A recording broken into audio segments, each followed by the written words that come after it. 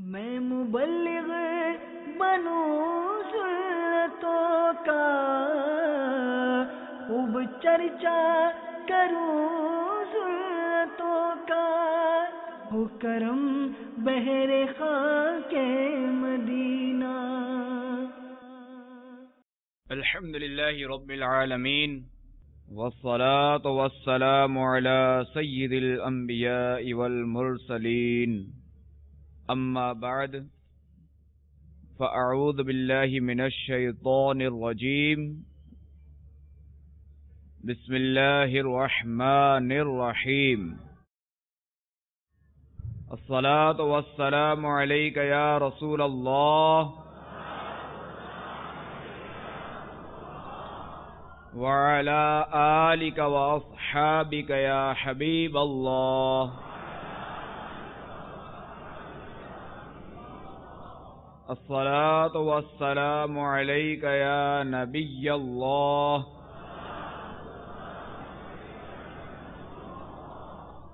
وعلى آلك وأصحابك يا نور الله.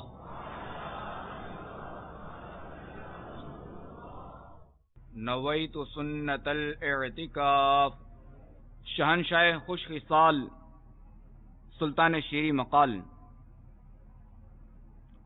صلی اللہ تعالی علیہ وآلہ وسلم کا فرمان خوشبودار ہے۔ بے شک اللہ تبارک و تعالی نے ایک ایسا فرشتہ میری قبر پر مقرر فرمایا ہے، جس سے تمام مخلوق کی آوازیں سننے کی طاقت عطا فرمائیے۔ بس قیامت تک جو کوئی مجھ پر درود پاک پڑتا ہے، تو وہ مجھے اس کا اور اس کے باپ کا نام پیش کرتا ہے کہ فلاں بن فلاں نے آپ علیہ السلام والسلام پر اس وقت درود پاک پڑا ہے۔ صلو علی الحبیب۔ صلی اللہ تعالی علی محمد وعلی آلہ وصحبہ وبارک وسلم حصول ثواب کی خاطر بیان سننے سے پہلے اچھی اچھی نیتیں کر لیتے ہیں۔ کہ فرمان مصطفیٰ صلی اللہ تعالی علیہ وآلہ وسلم، نیت المؤمن خیر من عملی کہ مسلمان کی نیت اس کے عمل سے بہتر ہے۔ تو آپ نیت کر لیجیے کہ نگاہ نیچے کی خوب کان لگا کر بیان سنوں گا۔ صلو علی الحبیب اذکر اللہ توب اللہ وغیرہ سن کر ثواب کمانے اور صدا لگانے والوں کی دل جوئی کے لیے بلند آواز سے جواب دوں گا۔ علم دین کی تعظیم کی خاطر جہاں تک ہو سکا دو زانوں بیٹھوں گا۔ میں بھی نیت کرتا ہوں کہ اللہ کی رضا پانے اور ثواب کمانے کے لیے بیان کروں گا۔ نیکی کا حکم دوں گا اور برائی سے منع کروں گا۔ صلو علی الحبیب۔ صلی اللہ تعالی علی محمد وعلی علیہ وصحبہ وبارک وسلم میٹھے میٹھے اسلامی بھائیوں اور مدنی چینل کے ناظرین، آج کے بیان کا موضوع ہے جوانی میں عبادت کے فضائل. عموماً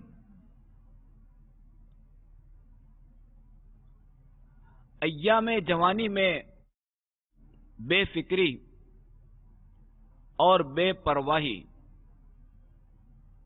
اور ان حسین لمحات کی قدر بڑھاپے میں پچھتاوے کا سبب بنتی ہے۔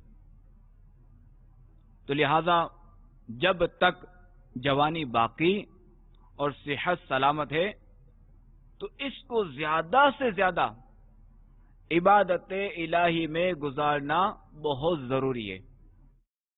تاکہ بعد میں حسرت و ندامت نہ ہو بڑھاپے میں جا کے کہ ہائے افسوس، اب تو میں بوڑھا ہو گیا اور اب جو ہے وہ میں عبادت نہیں کر پاتا۔ ایک بزرگ رحمت اللہ تعالی علیہ فرماتے ہیں کہ میں نے ایک نوجوان کو آبادی اور لوگوں سے الگ تھلگ تنہا جنگل میں مصروف عبادت دیکھا۔ میں نے سلام کیا، اس نے جواب دیا۔ پھر میں نے اس سے کہا، اے نوجوان، تم ایسی ویران جگہ میں کیوں ہو جہاں تمہارا کوئی مددگار ہے، نہ رفیق؟ اس نے کہا، کیوں نہیں؟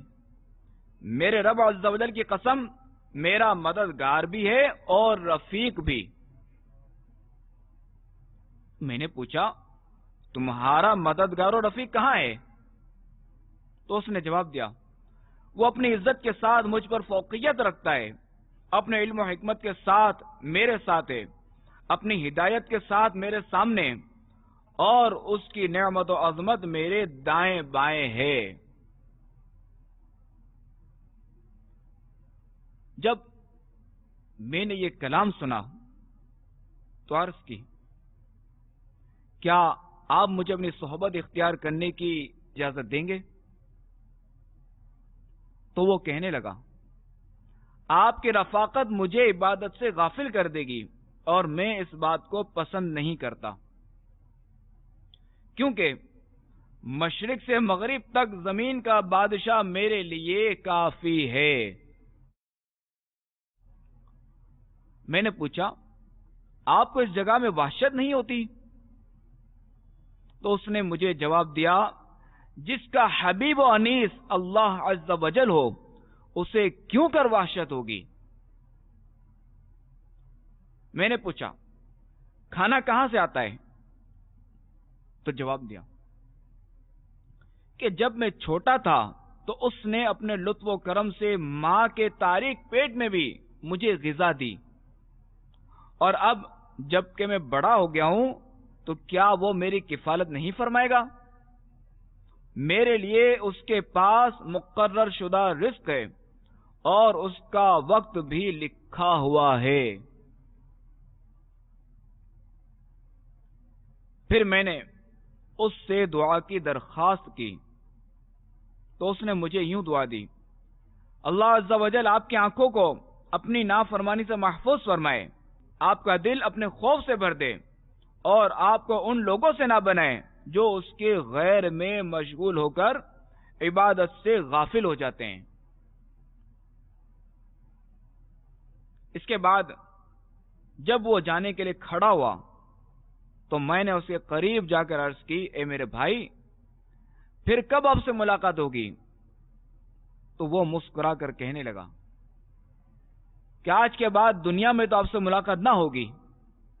ہاں بروز قیامت جب سب لوگ جمع ہوں گے، تو اگر آپ مجھ سے ملنا چاہیں، تو دیدار الہی کرنے والوں میں مجھے تلاش کیجیے گا۔ تو میں نے پوچھا کہ آپ کو یہ کیسے معلوم ہو گیا؟ تو جواب دیا، اس کی عزت کی قسم، اسی کے سبب معلوم ہوا۔ کیونکہ میں نے اپنی آنکھ حرام کردہ چیزوں سے اور اپنا نفس خواہشات کے حصول سے باز رکھا اور تاریخ راتوں میں اس کی عبادت کے لیے تنہائی اختیار کی، تو مجھے امید ہے کہ وہ مجھ سے خوش ہوگا اور اس کے بدلے وہ مجھے اپنا دیدار کرائے گا۔ پھر وہ نوجوان غائب ہو گیا۔ اس کے بعد پھر کبھی اس سے ملاقات نہ ہو سکی۔ رہو مست بے خود، میں تیری ولا میں۔ پلا جام ایسا، پلا یا الہی۔ آمین۔ بجاہ نبی نمین صلی اللہ علیہ وسلم۔ اس حکایت میں بالخصوص ان نوجوانوں کے لیے عبرت کے بے شمار مدنی پھول ہیں کہ جو اپنی جوانی کے نشے میں مدہوش رہتے ہوئے نفس و شیطان کے بہکاوے میں آ کر گناہوں میں ملوث رہتے ہیں اور رب تعالی کی ناراضی کا سامان کرتے ہیں۔ ایسوں کو چاہیے کہ اس قیمتی لمحات فضولیات میں برباد کرنے کے بجائے عبادت الہی میں گزاریں کہ زندگی اسے ایک بار ہی ملتی ہے کہ بندہ مر گیا اب اسے دوبارہ زندگی نہیں ملے گی۔ اب اس نے جتنی عبادت کر لی سو کر لی۔ اب اسے عبادت کا وقت نہیں ملے گا۔ تو لہٰذا ابھی جو قیمتی لمحات ملے ہوئے ہیں، ابھی جو انمول ہیرے ملے ہوئے ہیں، ابھی جو انمول موتی ملے ہوئے ہیں، ان سانسوں کو غنیمت جانیے، ان لمحات کو غنیمت جانیے۔ اور اسی میں جتنا ہو سکے عبادت الہی بجا لائیے۔ مفسر شہیر حکیم الامت حضرت مفتی احمد خان علیہ رحمت الرحمان فرماتے ہیں کہ صحت، جوانی، مالداری اور زندگی ضائع نہ جانے دو۔ اس میں نیک اعمال کر لو کہ یہ نعمتیں بار بار نہیں ملتی۔ مزید فرماتے ہیں کہ جوانی کھیل کود میں گوا کر بڑھاپے میں جبکہ اعضا بیکار ہو جائیں۔ کثرت عبادت کی خواہش کرنا بے وقوفی ہے کہ جو عمل کرنا ہے جوانی میں کر لو کہ جوان نیک آدمی کا بہت بڑا درجہ ہے۔ یہی دن ہے بڑھاپے میں کہاں ہمت؟ ریاضت کے یہی دن ہے، ریاضت کے یہی دن ہے، ریاضت کے یہی دن ہے۔ بڑھاپے میں کہاں ہمت؟ جو کچھ کرنا ہو اب کر لو۔ ابھی نوری جواں تم ہو، جو کچھ کرنا ہو اب کر لو۔ ابھی نوری جواں تم ہو۔ میٹھے اسلامی بھائیوں اور مدنی چینل کے ناظرین، جوانی یقین اللہ تبارک و تعالی کی عطا کردہ نعمتوں میں سے ایک عظیم نعمت ہے کہ جس کا کوئی مول نہیں یعنی اس کی کوئی قیمت نہیں۔ ایک بار چلی جائے۔ اگر یہ جوانی ایک بار چلی جائے تو پھر اربوں خربوں روپے خرچ کرنے سے بھی حاصل نہیں ہوتی۔ اگر ہم نے دنیا میں رہتے ہوئے اپنی جوانی اللہ عز و جل کی اطاعت و عبادت میں بسر کی ہوگی تو انشاءاللہ اللہ و جل باروز قیامت حسرت و ندامت سے بچ سکیں گے۔ ورنہ اس نعمت کی ناقدری کے سبب شدید ذلت و خاری اٹھانی پڑ سکتی ہے۔ کیونکہ قیامت کے دن جوانی سے متعلق بھی سوال کیا جائے گا۔ چنانچہ شفیع روز شمار دو عالم کے مالک و مختار صلی اللہ تعالی علیہ وآلہ وسلم نے ارشاد فرمایا، قیامت کے دن بندہ اس وقت تک قدم نہ اٹھا سکے گا جب تک اس سے پانچ چیزوں کے بارے میں سوال نہ کر لیا جائے۔ نمبر ایک، عمر کن کاموں میں گزاری۔ نمبر دو، جوانی کن کاموں میں صرف کی۔ نمبر تین، مال کہاں سے کمایا۔ اور نمبر چار، کہاں خرچ کیا؟ اور نمبر پانچ، اپنے علم پر کہاں تک عمل کیا؟ جو خوش نصیب۔ اپنی جوانی کی قدر کرتے ہوئے نفسانی خواہشہ سے منہ موڑ کر خالص اللہ تبارک و تعالی کی رضا کے حصول کی خاطر، اپنے شب و روز عبادت و ریاضت میں بسر کرتا ہے۔ تو وہ دنیا و آخرت کی ڈھیروں بھلائیاں پا لیتا ہے۔ کہ جو کوئی خوش نصیب اپنی جوانی کی قدر کرے اور نفسانی خواہشہ سے دور رہے، اسے منہ موڑ لے اور اللہ تبارک و تعالی کی رضا کے حصول کی خاطر اپنے شب و روز عبادت میں بجا لے، شب و روز ریاضت کرے، شب و روز زہد کرے۔ تو وہ دنیا و آخرت کی ڈھیروں بھلائیاں پا لیتا ہے۔ آئیے اس ضمن میں چار فرامین مصطفیٰ سنتے ہیں۔ اپنی جوانی میں عبادت کرنے والے نوجوان کو بڑھاپے میں عبادت کرنے والے بوڑھے پر ایسی فضیلت حاصل ہے۔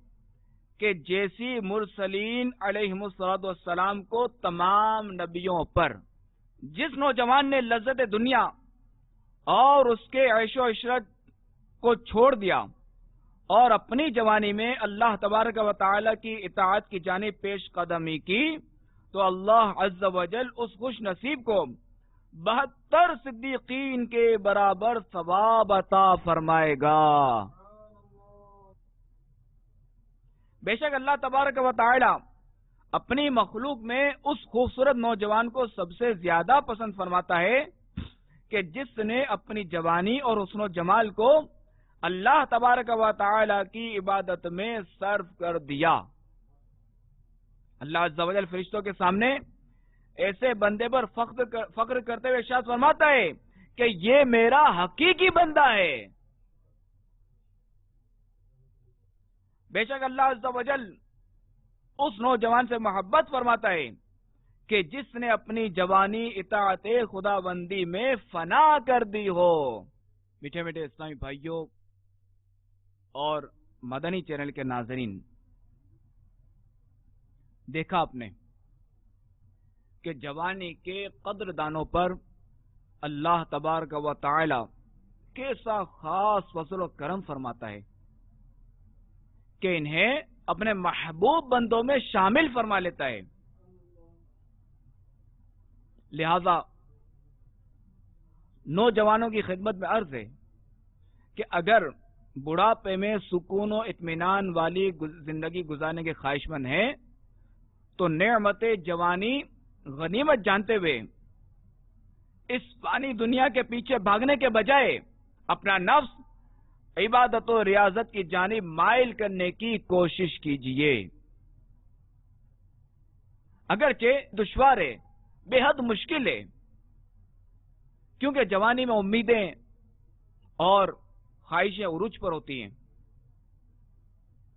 لیکن اگر ہم دیگر معاملات کے ساتھ ساتھ حضور اکرم نور مجسم صلی اللہ تعالی علیہ وآلہ وسلم کی پیروی کرتے ہوئے آپ کی عبادت و ریاضت سے سجی پاکیزہ زندگی کے مطابق عمل کریں گے، تو انشاءاللہ عز و جل ہماری زندگی میں بھی مدنی بہاریں آ جائیں گی۔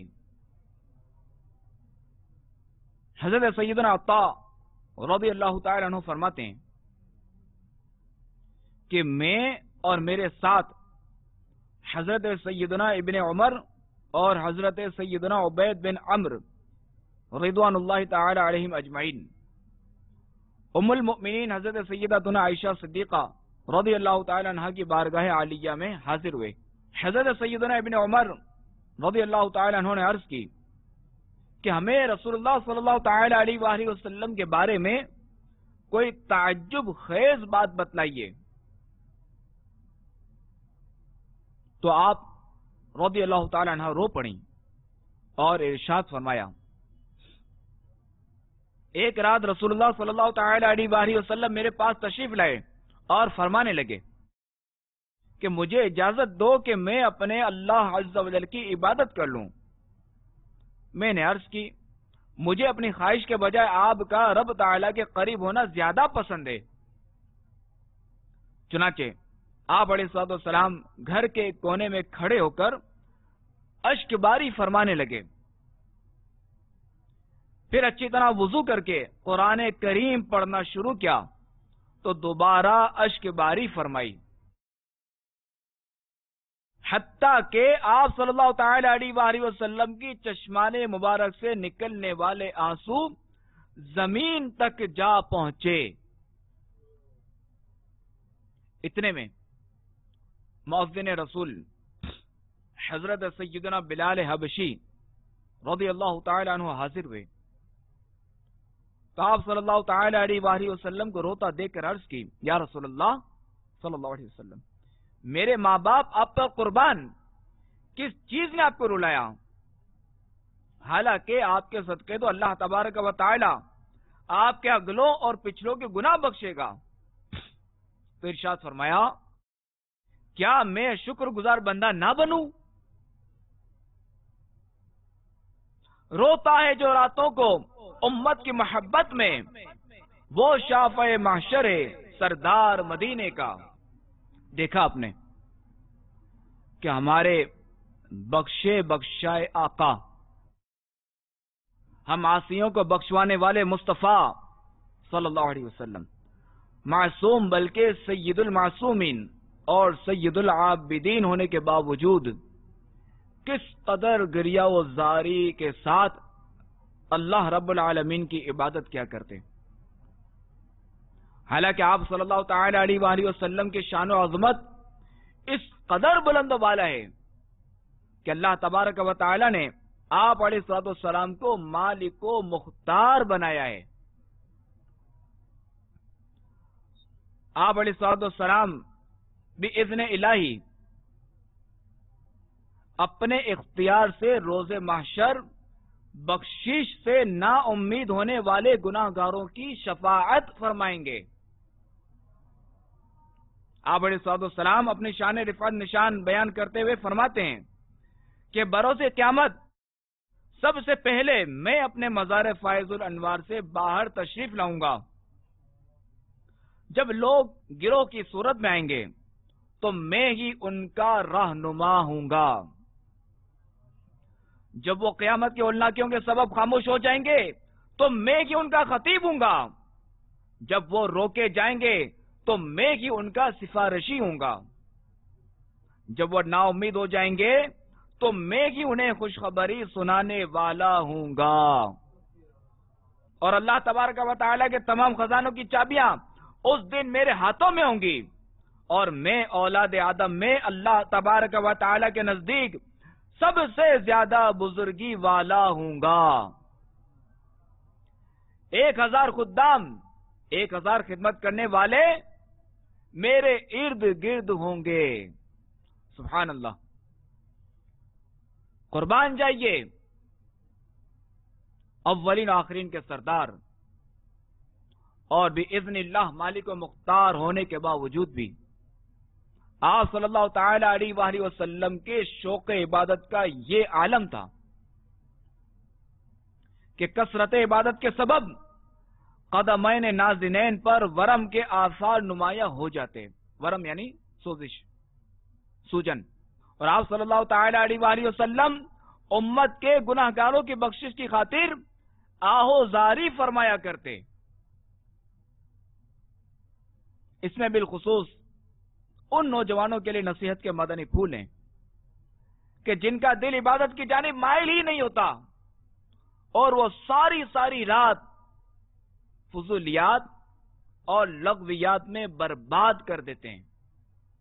لہذا ایسوں کو چاہیے کہ خدا را محسن انسانیت غمخار امت صلی اللہ تعالی علیہ وسلم کے آنسوؤں کو یاد کیجیے دنیا و آخرت میں کامیابی پانے کے لیے احکام خدا بندی کے وجہ آوری نبی کریم صلی اللہ تعالی علیہ وآلہ وسلم کی سنتوں کی پیروی اور اخروی انعامات پانے کی حرص میں خوب خوب نیکیاں کیجیے۔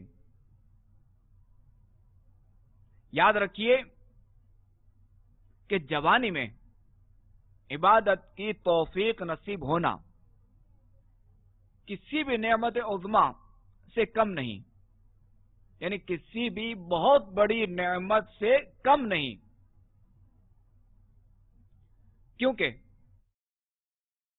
جوانی کی دہلیز پر قدم رکھتے ہی انسان شیطان کی خطرناک چالوں، نفس کی ناجائز خواہشوں، برے دوستوں کی صحبتوں، دنیاوی مستقبل بہتر بنانے کی فکروں اور فانی دنیا کی رنگینیوں میں کھو کر دولت کمانے کے ناجائز طریقوں کے سبب گناہوں کے اندھیریوں میں بھٹکتا پھرتا ہے۔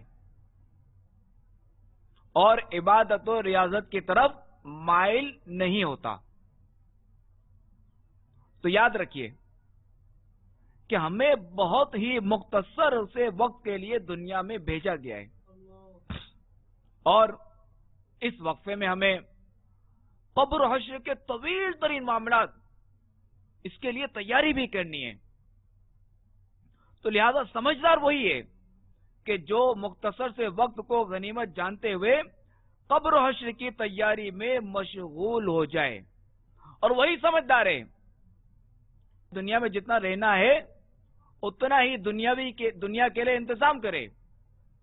اور جتنا عرصہ قبر و آخرت کا ہے، اس کے لیے اتنا انتظام کرے۔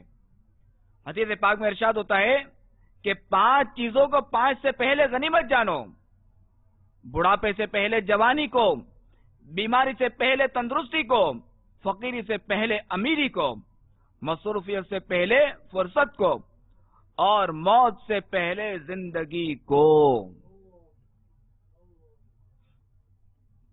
اگر ہم بھی اپنی جوانی غفلت میں گوانے کے بجائے قبر آخرت کی تیاری میں مشغول ہو جائیں گے تو اس کی برکت سے نہ صرف ہماری دنیا بہتر ہوگی، بلکہ قبر میں بھی رب تعالی کی نوازشوں کی چھما چھم بارشیں ہوں گی۔ انشاءاللہ۔ آئیے اس ضمن میں ایک بہت ہی پیاری حکایت سنتے ہیں۔ امیر المؤمنین حضرت سیدنا عمر فاروق اعظم رضی اللہ تعالیٰ عنہ کے زمانے میں ایک صالح نوجوان مسجد میں مشغول عبادت رہتا تھا۔ جب اس کا انتقال ہو گیا تو راتوں رات اس کے غسل اور کفن دفن کا انتظام کرنے کے بعد صبح جس وقت امیر المؤمنین حضرت سیدنا عمر فاروق اعظم رضی اللہ تعالی عنہ کو اس واقعے کی خبر دی گئی، تو آپ رضی اللہ تعالیٰ عنہ سے والد کے پاس اس کے صالح بیٹے کے انتقال کی تعزیت کے سلسلے میں تشریف لے گئے۔ تعزیت کر لینے کے بعد آپ رضی اللہ تعالیٰ عنہ نے ارشاد فرمایا، تم نے مجھے خبر کیوں نہ دی؟ کہ میں بھی اس کی نماز جنازہ وغیرہ میں شریک ہوتا، تو اس نے عرض کی، اے امیر المؤمنین، رات کافی ہو چکی تھی، لہذا آپ کے آرام کے پیش نظر آپ کو بتانا مناسب نہ سمجھا۔ تو امیر المؤمنین، حضرت سیدنا عمر فاروق اعظم رضی اللہ تعالی عنہ نے ارشاد فرمایا کہ مجھے صالح نوجوان کی قبر کے پاس لے چلو۔ لہذا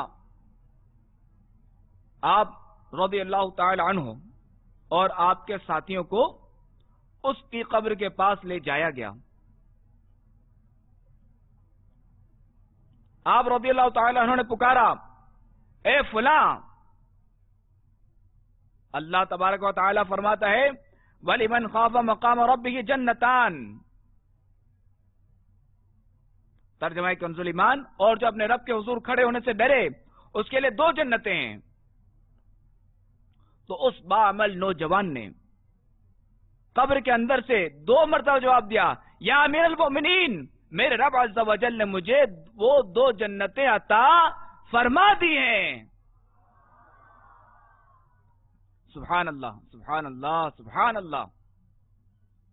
میٹھے اسلام بھائی اور مدنی چینل کے ناظرین، دیکھا آپ نے کہ اس نوجوان نے اپنی ساری زندگی گناہوں سے بچتے ہوئے نیکیوں میں بسر کی۔ تو مرنے کے بعد یہ عبادت اس کی بخشش و مغفرت کا سبب بنی۔ اور جنت کی اعلی نعمتیں بھی نصیب ہوئیں۔ اور یاد رکھیے کہ یہ حسن و کہ یہ حسن و جوانی دولت فانی ہے اور اس پر غرور و تکبر، حماقت و نادانی ہے۔ ڈل جائے گی یہ جوانی جس پہ تجھ کو ناز ہے۔ تو بجا لے چاہے جتنا چار دن کا ساز ہے۔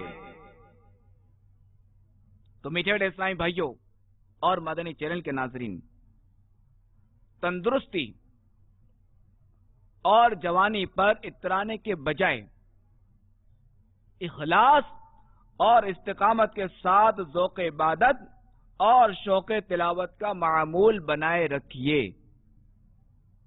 کہ ایسے میں اگر بڑھاپا آ بھی گیا، زندگی رہی، زندگی نے وفا کی اور بڑھاپا آ گیا، اور عبادت کی لگن بھی باقی رہی، تو صحت و ہمت نہ ہونے کے باوجود بھی انشاءاللہ عز و جل اس لاچاری کے عالم میں بھی جوانی کی عبادتوں جیسا ثواب ملتا رہے گا۔ چنانچہ حضرت سیدنا انس بن مالک رضی اللہ تعالیٰ عنہ فرماتے ہیں، جب بندہ حالت اسلام میں نیکیاں کرتے ہوئے عمر کے اس حصے میں پہنچ جائے کہ اسے کسی شے کے متعلق پہلے سے علم ہونے کے باوجود با وقت ضرورت وہ چیز یاد نہ رہے، تو اللہ تبارک و تعالی اس کے نام اعمال میں وہ نیکیاں بھی لکھتا رہتا ہے۔ کون سی نیکیاں؟ جو وہ اپنے صحت کے زمانے میں کیا کرتا تھا۔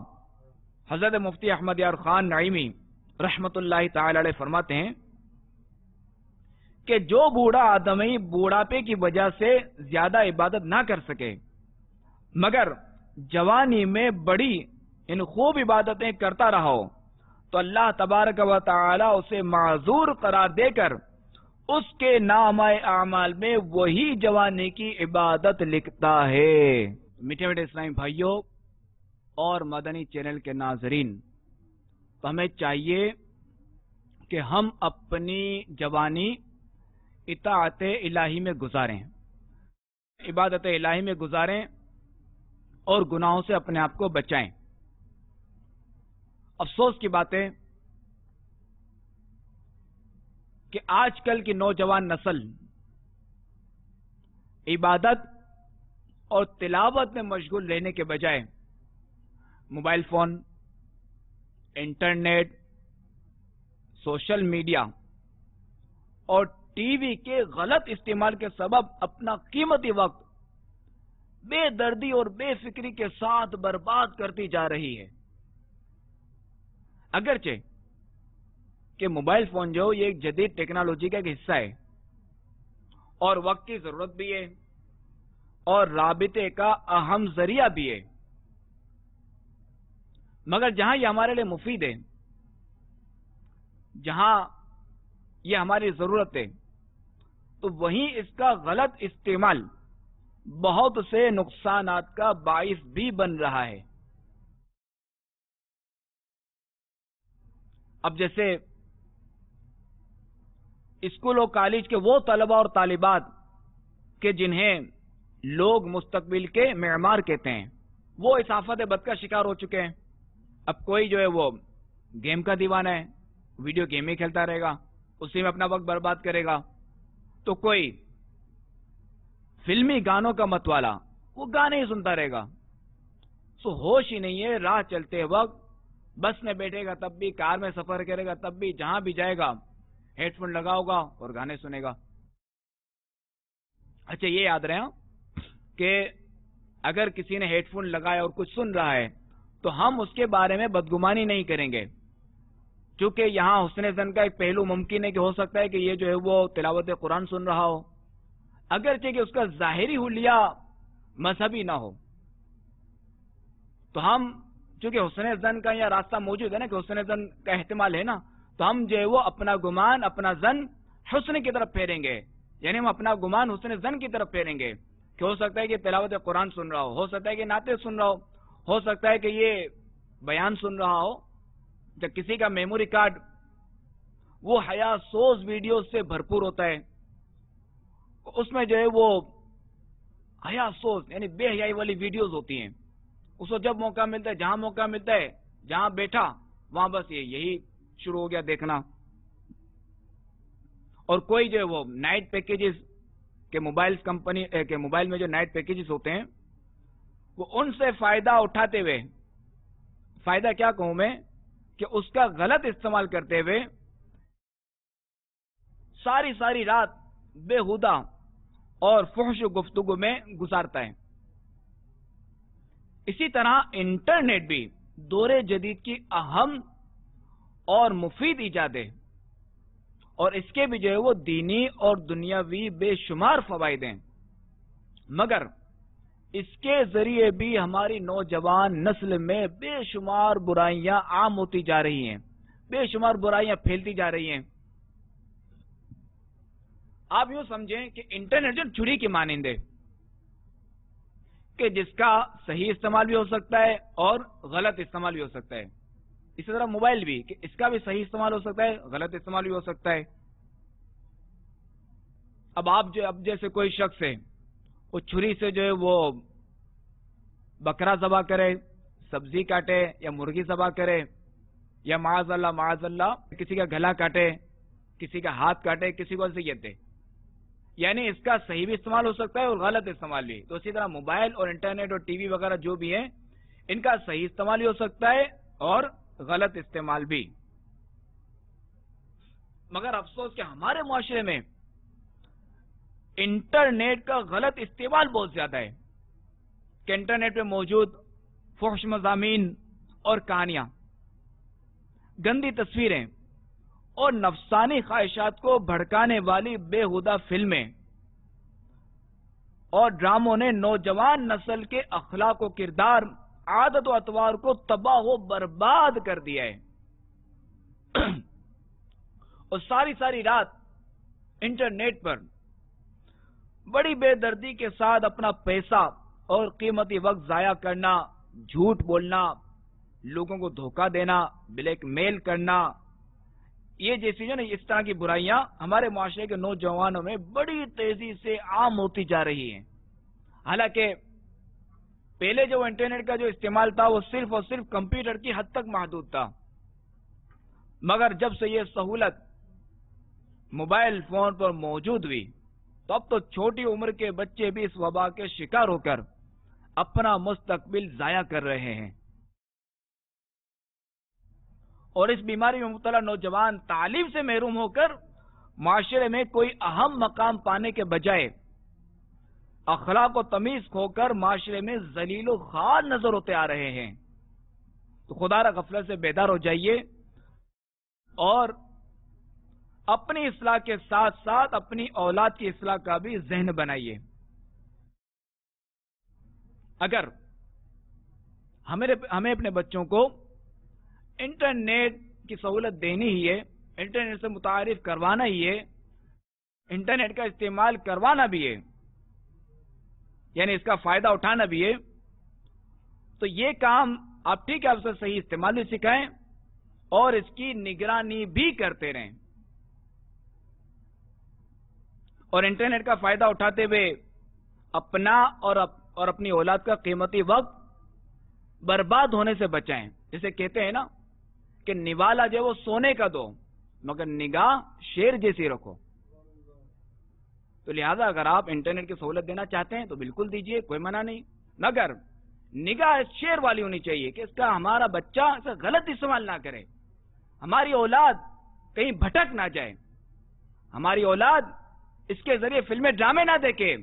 ہماری اولاد کسی غلط راستے پہ نہ چلے جائے کہ بعد میں پھر ہم سر پکڑ لیں ارے، یہ کیا ہو گیا؟ اور اس کی تو فلاں سے دوستی ہو گئی۔ اپنے خودکشی کی دھمکی دیتا ہے۔ ہوتا ہے بعضوں کا جو وہ جیسے اس طرح کے اس انٹرنیٹ کی بدولت دوستی ہو جاتی ہے۔ اب خاندانی جو ہے وہ معاملات آڑے آتے ہیں۔ اب وہ مطالبہ، اب وہ تقاضے کر دے کہ ہمیں جو ہے وہ ساتھ رہنا ہے، شادی کرنی ہے، مگر خاندانی معاملات آڑے آتے ہیں اور اس طرح خودکشیاں بھی ہوتی ہیں۔ تو ہمیں چاہیے کہ انٹرنیٹ کی سہولت دینی ہے۔ تو وہی لکما سونے کا نگاہ شیر والی۔ ورنہ یہ اگر نہیں کر سکتے تو پھر یہ سہولت بھی نہیں چاہیے۔ اور الحمد للہ فی زمانہ دعوت اسلامی کے ذریعے آپ انٹرنیٹ کا صحیح استعمال کر سکتے ہیں۔ کہ الحمد للہ دعوت اسلامی کی website W W dot Dawat Islami dot net آپ بذریعہ انٹرنیٹ اس کے ذریعے کتابیں ڈاؤن لوڈ کر سکتے ہیں، مطالعہ کر سکتے ہیں کنزل ایمان ڈاؤن لوڈ کر سکتے ہیں، قرآن پاک کی تلاوت بھی کریں گے اور ترجمہ بھی اور تفسیر بھی۔ قطب احادیث آپ ڈاؤن لوڈ کر سکتے ہیں، اس کا مطالعہ کر سکتے ہیں، اسی طرح۔ بس ذریعہ انٹرنیٹ دعوت اسلامی کی ویب سائٹ کے ذریعے دارالفتا اہل سنت سے بھی رابطہ کر سکتے ہیں اور اس کے ذریعے اپنے شرعی معاملات کی رہنمائی بھی لے سکتے ہیں۔ اسی ویب سائٹ کے ذریعے آپ جو اسلام میں دکھی ہیں، جو پریشان حال ہیں، وہ اپنے تکالیف، اپنے معاملات کی کاٹ بھی کروا سکتے ہیں۔ تو اللہ تبارک و تعالی سے دعا ہے کہ اللہ تبارک و تعالی ہمیں ہر نعمت کا صحیح استعمال کرنے کی توفیق عطا فرمائے۔ آمین۔ بجاہ نبی الامین صلی اللہ تعالی علیہ وآلہ وسلم۔ صلو علی الحبیب۔ صلی اللہ تعالی علی محمد وعلی علیہ وصحبہ وبارک وسلم. صلاة و سلاما علیک یا رسول اللہ. میں مبلغ بنوں سنتوں کا خوب چرچا کروں سنتوں کا ہو کرم بہر خاک مدینہ.